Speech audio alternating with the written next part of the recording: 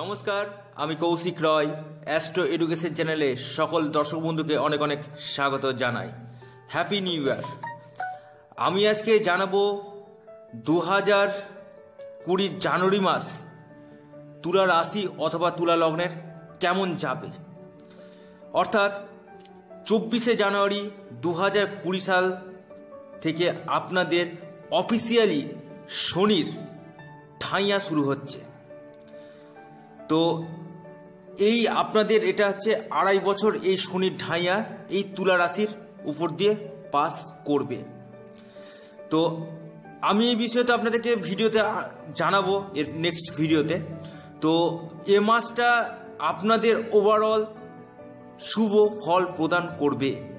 কারণ আপনাদের বিবাহ- বিবাহের ব্যাপারে প্রথম যদি বলি, আপনাদের সপ্তমপতি সক্ষেত্রিক দ্বিতীয় অবস্থাতে আছে, বসেছে। অর্থাৎ আপনাদের বিবাহের ক্ষেত্রে এ মাসটা খুব শুভ মাস।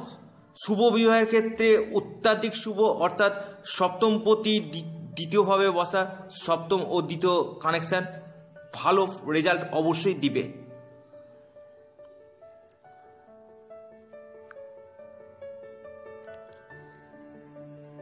এবার আসি প্রেমের ক্ষেত্রে। প্রেমের ক্ষেত্রে আপনাদের মাসের প্রথম, অর্থাৎ বারো থেকে চোদ্দ তারিখ অবধি আপনাদের প্রেমের ক্ষেত্রে কিছুটা সমস্যা দেখা যাচ্ছে। কারণ আপনাদের পঞ্চমপতি কেতুযুক্ত হয়ে তৃতীয় ঘরে বসছে। অর্থাৎ প্রেমের ক্ষেত্রে আপনাদের প্রেমিক প্রেমিকাদের মধ্যে মতান্তর, ঝামেলা, একটু মন কষাকষি এগুলো হতে পারে। কিন্তু মাসের মাঝামাঝি সময় থেকে যেহেতু আপনাদের পঞ্চম স্থানে শুক্র গ্রহের অবস্থান হওয়ায় এই যে ব্রেকআপের মতন জায়গাটা তৈরি হয়ে যাচ্ছিল, সেই জায়গাটা আপনারা কিছুটা হলেও রিকভারি করতে পারবেন। অর্থাৎ প্রেমের ক্ষেত্রটা পনেরো তারিখের পর থেকে অবশ্যই ভালো ফল প্রদান করবে। কিন্তু প্রথম দিকটা আপনারা একটু সাবধানে থাকবেন ওলট পালট কোনো কথা নিজেদের মধ্যে বলবেন না। যাতে সম্পর্কে অবনতি না হয়। এবার আপনাদেরকে জানায় আপনাদের অর্থভাব। আপনাদের দ্বিতীয় স্থানে দ্বিতীয় পতি অবস্থান করায় অর্থাৎ মঙ্গল সক্ষেত্রিক হওয়ায় আপনাদের অর্থভাব অত্যাধিক শুভ। অর্থাৎ আপনারা প্রচুর ইনকাম করবেন এই মাসে বা এমন কোনো প্ল্যানিং করলেন যেটা দীর্ঘমেয়াদী হবে, যেটা পরেও ফলপ্রসূ হবে এই এই মাসে প্ল্যানিংয়ের জন্য।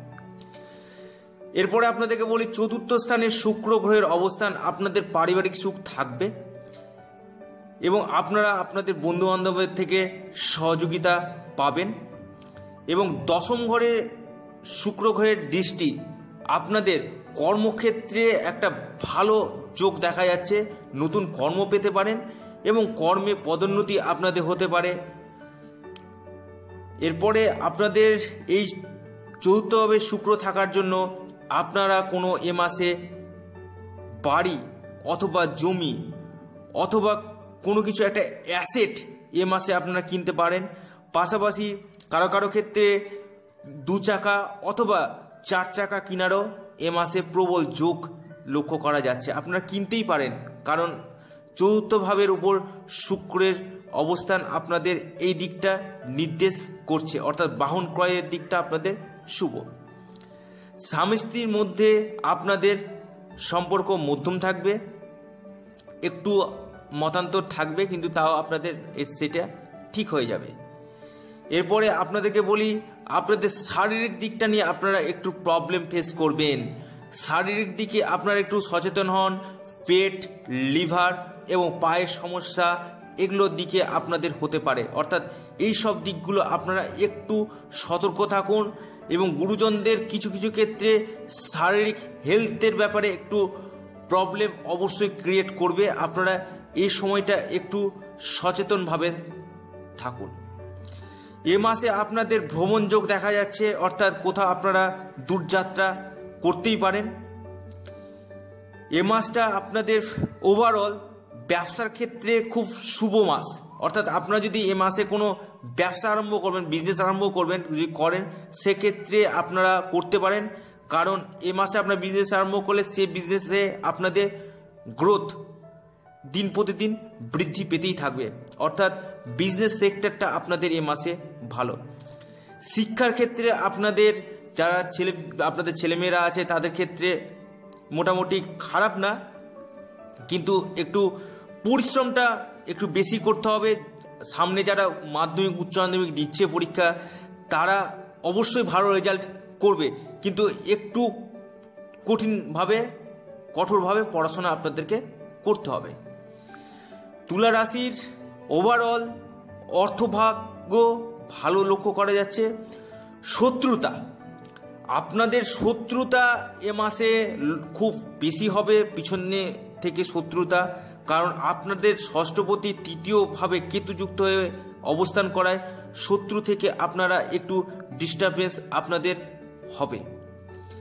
এবং আপনারা আপনাদের পিতার শরীরের দিকে একটু নজর রাখুন এ মাসে, কারণ হেলথ নিয়ে কিছু কিছু ক্ষেত্রে প্রবলেম দেখা যাচ্ছে।